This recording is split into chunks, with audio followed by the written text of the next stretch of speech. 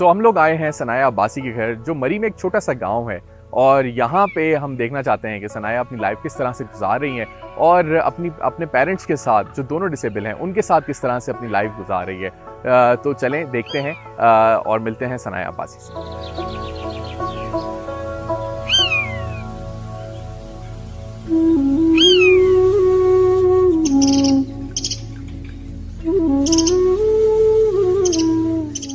स्नाया बासी है और मैं ट्वेल्व ईयर्स की हूँ और मैं क्लास एट में पढ़ती हूँ। और मुझे सबसे पहले पिंडी में करंट लगा था, जिसकी वजह से मेरा हाथ कट गया था। उसके बाद जब हमने इंटरनेट में वायनिक्स के बारे में हमने पढ़ा तो हमें पता चला, फिर हमने उनके साथ रबता किया और फिर उनने हमारी पहले बहुत मदद की। फिर सेकेंड टाइम सडन हमारे स्कूल में मैं सी एम पर जाम आई और उनने, जब उनने मैंने बताया कि मैं मतलब मुझे करंट लगा था तो उनने फिर मुझे बताया कि तुमने पहले कहाँ से करवाया? तो फिर मैंने उन्हें बताया कि भाई मैंने बायनिक से करवाया था। तो उसके बाद मैंने फिर उन्हें बताया कि बाइनिक से मैंने कम्युनिकेट किया था तो उनने फिर बाइनिक्स वालों से रबता किया और बाइनिक्स ने अगेन मेरी बहुत मदद की और अब बाइनिक्स दोबारा मेरे घर आई है और मुझे बहुत ज़्यादा खुशी हुई है।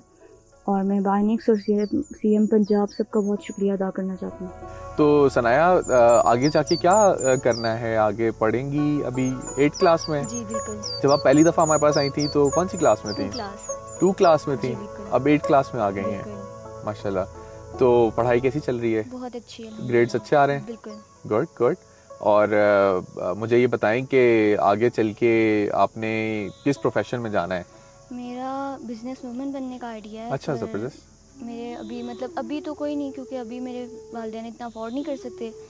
तो फिर आगे जाके इनशाला तो यूनिवर्सिटी अभी सोची नहीं है कहाँ जाना है? अभी फिर जो इजीली होता है वही। सही आ, सही फाइनेंशियल कंस्ट्रेंट है जिसकी वजह से। आप ठीक ठीक ठीक। सो हम लोग आए थे मरी के अंदर। छोटा सा गाँव है और यहाँ पे छोटी सी सनाया बासी रहती है। बहुत हिम्मत वाली बहुत हौसले वाली। और सबसे ख़ास बात यह है कि इसके जो दोनों पेरेंट्स हैं, वो भी डम एंड डेफ हैं, वो ना बोल सकते हैं, ना सुन सकते हैं। और सनाया इसी तरीके से इशारों में बात करती है उनके साथ उनको समझाती है चीज़ें समझाती है कि उसको क्या चाहिए क्या करना है और पूरी फैमिली का भी ख्याल रख रही है। आ, बस क्योंकि फाइनेंशियल कंस्ट्रेंट होने की वजह से सनाया सोचती तो बहुत कुछ है बहुत बड़े बड़े ड्रीम्स हैं इसके। आ, लेकिन यूनिवर्सिटी जाने के लिए जब सोचना होता है तो फिर वो सोचती है कि किस तरह से होगा। आ, तो हम बिल्कुल चाहते हैं कि बहुत सारे लोग इस तरह से हमारी जो कम्युनिटी है आ, उसकी भी हेल्प करें ताकि ये लोग अपने जो पॉजिटिव इनके अंदर एनर्जी है उसको पूरे पाकिस्तान भर में फैला सकें। क्योंकि जिस तरह से आप लोगों ने देखा कि सनाया ना सिर्फ़ अपने लिए बल्कि आगे चल के बहुत सारे लोगों के लिए आ, कोई ऐसा काम करना चाहती है जिसमें उन सब का फ़ायदा हो। सो uh, इसी तरीके से हमारे साथ कनेक्टेड रहें और हम दिखाएँगे कि हमारी जो बायोनिक्स की कम्युनिटी है वो किस तरह से किन एरियाज़ में रहती है और उनकी आप लोग किस तरह से हेल्प कर सकते हैं। Thank you so much